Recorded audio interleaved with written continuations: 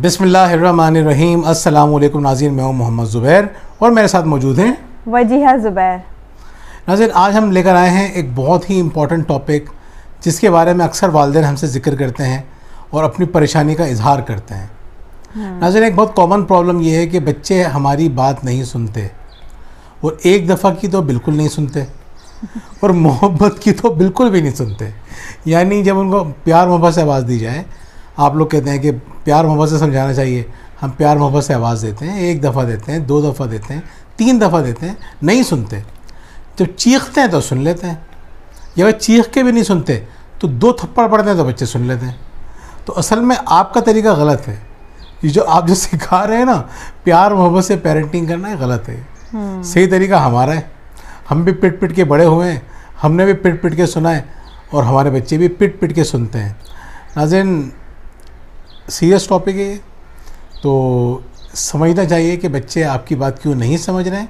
और जिन वालदेन की बात बच्चे डांट के बाद सुनते हैं या मार के बाद सुनते हैं तो उसके बाद होता ये है कि कुछ अरसे के बाद उनकी ना तो डांट का कोई असर रहता है ना मार का कोई असर रहता है। अब बच्चे हम्म। आहिस्ता आहिस्ता बदतमीज़ होना शुरू हो जाते हैं फिर वालदे बच्चे से डरना शुरू हो जाते हैं। तो आज हम बात करेंगे ऐसी मौजू पर कि क्या वजूहत हैं कि बच्चे एक दफ़ा की बात नहीं सुनते और क्या करें कि बच्चे आपकी बात सुनना शुरू करते हैं क्योंकि जिन घरानों में बच्चे माँ बाप की बात सुनते हैं वो एक बहुत ही खुशहाल घराने होते हैं खूबसूरत घराने होते हैं मोहब्बत भरे घराने होते हैं। तो वजह आपको बताएँगी कि जब ये चीख चीख के बच्चों को समझाया करती थी तो वो बच्चे नहीं सुनते थे और कभी सुन लेते थे कभी नहीं। लेकिन प्यार मोहब्बत से जब इन्होंने एक टेक्निक सीखी तो किस तरह से बच्चों ने उनकी बात सुनना शुरू कर दी? हम्म, तो पहले तो हम बात करेंगे बच्चे बात सुनते क्यों नहीं हैं? हमारा वो कौन सा अमल है हमारा वो कौन सा काम है जो बच्चों को हमसे दूर कर रहा होता है वो हमारी बात नहीं सुन रहे होते हैं। जबकि हम कहते हैं बार बार कह रहे हैं फिर बच्चा नहीं सुन रहा। तो पहली गलती जो वालदेन करते हैं ख़ास तौर माएँ बार बार धमकाना। हम्म। यानी अभी मैं कह रही हूँ फ़ोन कर लो काम वरना अच्छी बात नहीं होगी। जल्दी से कमरा साफ़ कर लो वरना देखना तुम्हारा क्या हाल करती हो। अभी तो तुमने ये काम नहीं किया। अब तुमने ये काम नहीं किया ना अगर फिर मुझसे बुरा कोई नहीं होगा। अब बच्चा कहता है कि एक दफ़ा दो दफ़ा तीन दफ़ा हमें तो ये कई कई बार सुनने को मिलता है अब अच्छा नहीं होगा अब कर लो वरना ये होगा अब कर लो वरना वैसा हो जाएगा। बच्चा सीरियस है छोड़ देता है पेरेंट्स को। हम्म, अच्छा उसमें एक अजीब बात ये होती है कि जुमला आपने बहुत कॉमनली जो जो यूज़ सेंटेंस है वो ये है कि कितनी दफ़ा तुमसे कहना पड़ेगा? हाँ जहाँ पे बात समझ लें जहाँ पे ये बात कही जा रही होती है कि तुमसे कितने दफ़ा कहती है तुम बात नहीं समझ रहे या तुमसे कितने दफ़ा कहना पड़ेगा जब तुम ये काम करोगे। जहाँ पे आपको लगे कि आप ये जुमला बोलते हैं समझ लीजिए कि बच्चे अब वहाँ पे कम अज़ कम एक दफ़ा की बात तो नहीं सुनेंगे।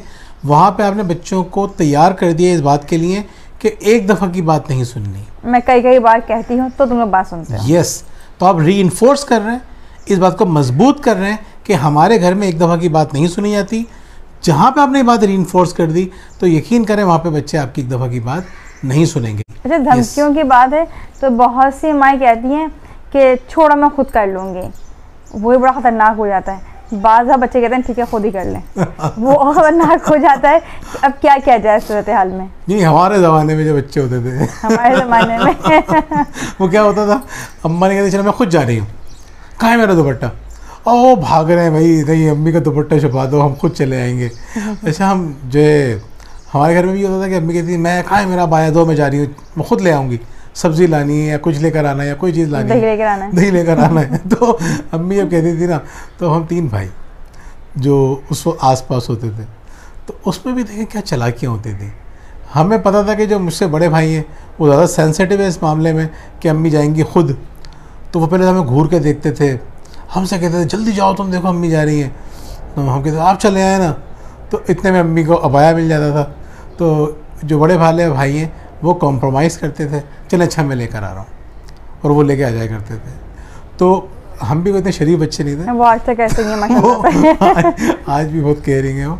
तो अच्छा होता यही है कि ज़रूरी नहीं कि बच्चे इतने सेंसिटिव हो। लेकिन आपकी जब धमकियाँ बार बार होंगी ना कि मैं खुद जा रही हूँ उठ के तो इसका असर आहिस्ता आहिस्ता ख़त्म होगा पहली बात। दूसरी बात बच्चे भी धमकियाँ देना सीखते हैं। अपने काम निकलवाने के लिए कभी कुछ धमकी कभी कुछ धमकी कभी कुछ धमकी। और दूसरी जो हम गलती करते हैं वो हम करते हैं कि हम बच्चों को गैर हकीकी धमकियाँ दे रहे होते हैं। जैसे अपना कमरा साफ़ कर लो वह नानी घर नहीं जाएँगे। तो ये कैसे पॉसिबल है कि बच्चा जो वो कमरा साफ़ नहीं कर रहा तो आप अपनी वालदा घर नहीं जाएँगे? जबकि खुद तड़प रहे हैं के लिए। ज़ाहिर बात है, प्रोग्राम सेट होता है। सारी बहनें जमा हो रही होती हैं बताया जाता है कि हम आ रहे हैं। अब अगर बच्चे ने कमरा साफ़ नहीं किया है, तो आप इस पर अमल नहीं कर सकती हैं कि आप अपनी वालदा नहीं जाएँ। या बच्चे से आपने कहा तुमने अपना होमवर्क कंप्लीट नहीं किया ना तो तुम्हारे जो कज़न्स आए हुए हैं तुम्हें खेलने नहीं दूँगी। ये पॉसिबल नहीं है। क्यों पॉसिबल नहीं है? आप खेलने नहीं देंगे तो बाकी लोग फोर्स करेंगे कि भेजो इसको खेलने दो। तुम तो ऐसा करती हो वैसा करती हो। फुप्पियों के बच्चे होंगे तो अलग इशू बन जाएगा। तो आप बच्चे को नहीं रोक सकती हैं।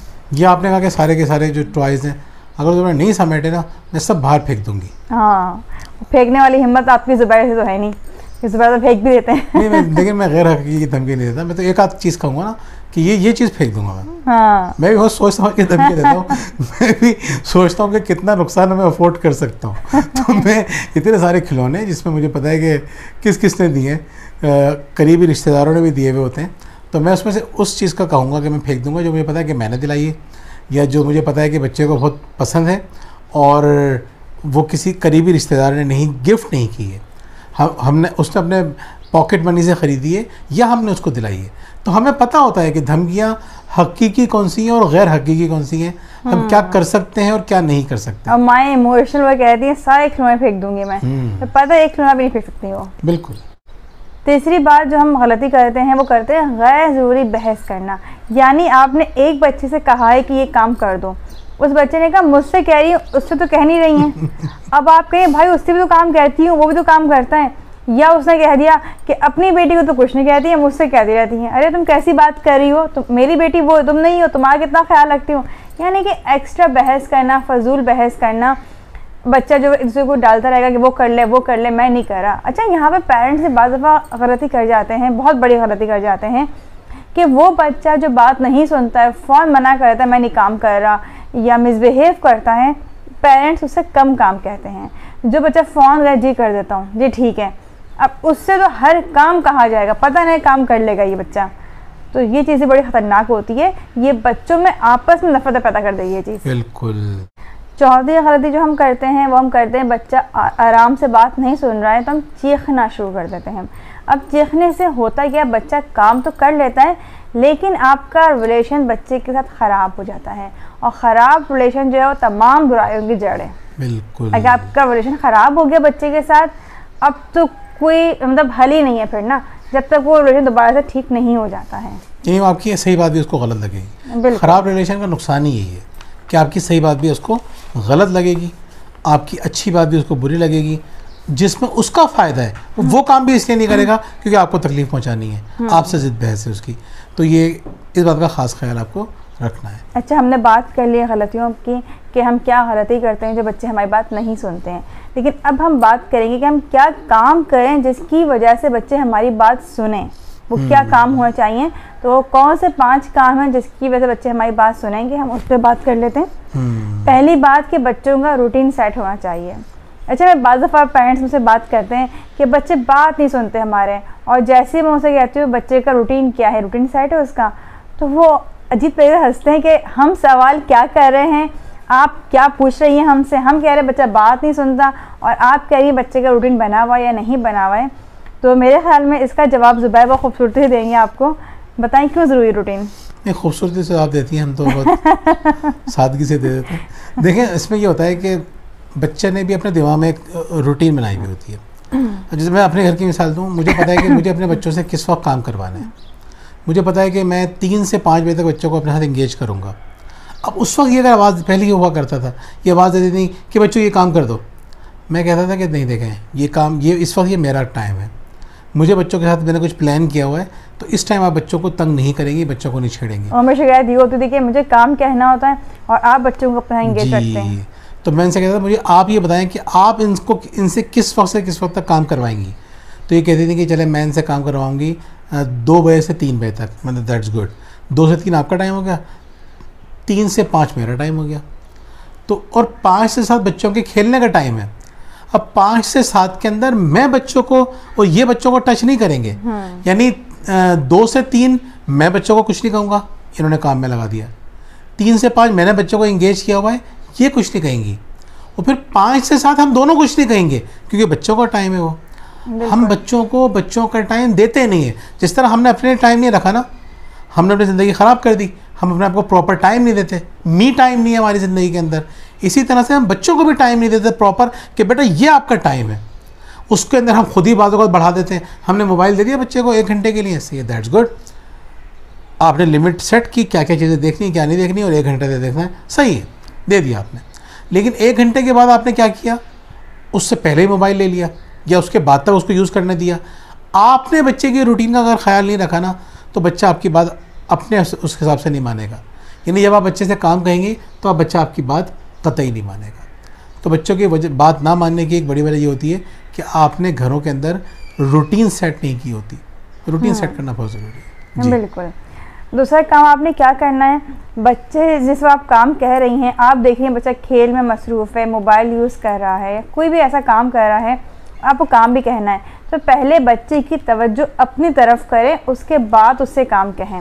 हम्म। वरना बच्चा बात सुनेगा ही नहीं फिर आपकी। नहीं इतना इम्पोर्टेंट है कि हम क्या करते हैं बच्चे की तवज्जो हासिल ही नहीं करते। क्लास में देखते हैं मैं बड़ा इन्जॉय करता हूँ कि बाज़ बात होता है दो बच्चे हँसी मज़ाक में लगे हुए हैं। सपोज़ एहसन और उमर है दोनों आपस में हँसी मज़ाक कर रहे हैं। अब मुझे जो है पढ़ाना है।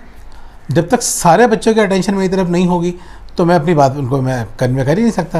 अब मैं आवाज़ दूँगा एहसन एहसन साहब हँसी मज़ाक में लगे हुए हैं दोस्त के साथ। अब क्या होगा पूरी क्लास एहसन को देख रही है।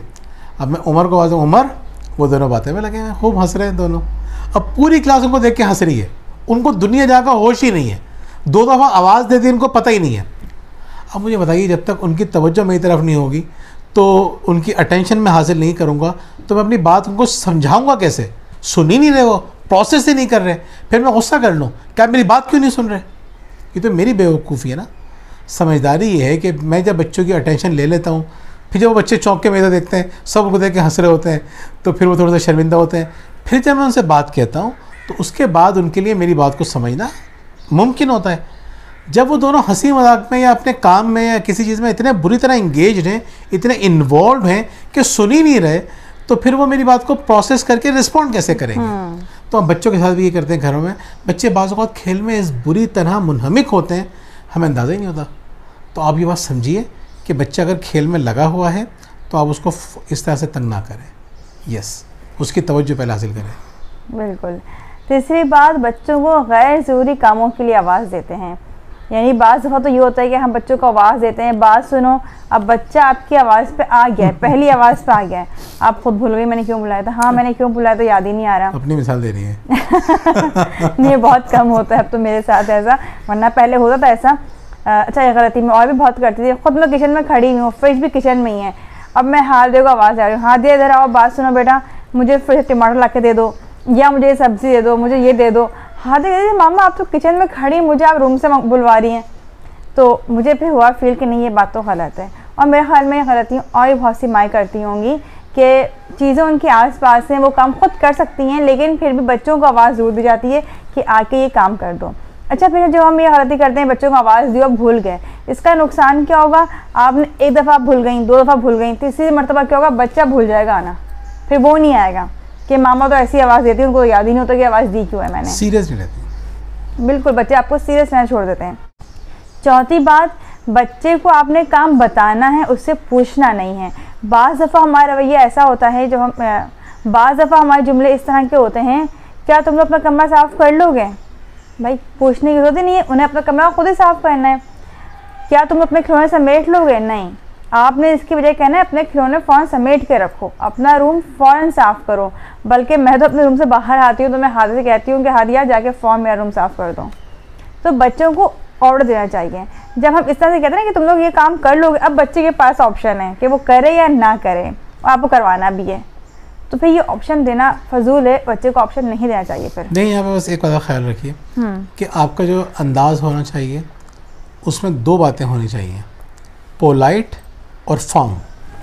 यानी बात में एक शाइस्तगी हो नरमी भी हो लेकिन मजबूती भी हो। हम्म। ये होता है बैलेंस जिसको हम बात करते हैं बैलेंस की हम बात कर रहे होते हैं ये है बैलेंस अच्छा ऐसे होता है? हम्म नहीं ऐसा भी होता है बच्चा खेल में लगा हुआ है आप देख रहे हैं या नहीं उसका टाइम तो खत्म होने वाला फिर भी खेल में लगा हुआ है। और उसको अपना अपना कमरा साफ़ करना है। पूरा तब क्या रहती है? बस पाँच मिनट अपना खेल खत्म करो और कमरा साफ़ करो। बिल्कुल। यानी अब ये नहीं होगा कि बच्चा हवल दौड़ में काम कर रहा है उसे पता है मेरे पास फाइव मिनट से इन फाइव मिनट से अपना वाइंड अप करके काम मुझे अपना रूम साफ़ करना है। हम्म। अच्छा पांचवी बात।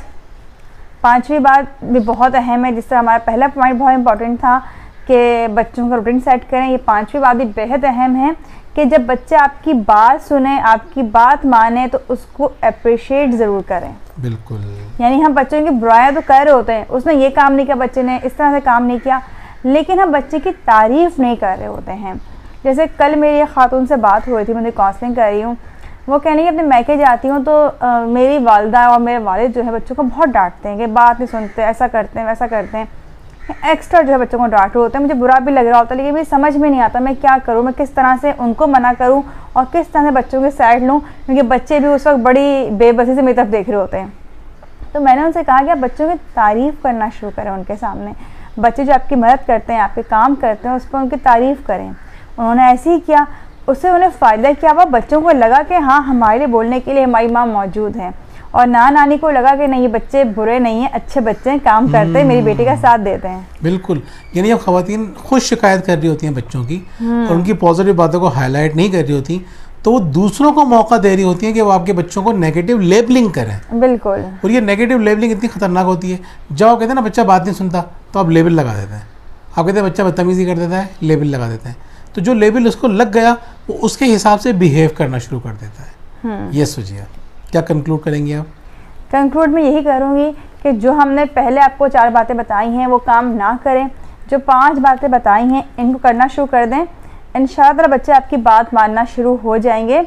और एक बात का ख़ास ख्याल रखें, जब भी हम वीडियो बनाते हैं, कोई बात बताते हैं, हम ये बात ज़रूर कहते हैं कि किसी भी काम को करने के लिए मुस्तकिल मिजाजी की बहुत ज़रूरी है, ज़रूरत है।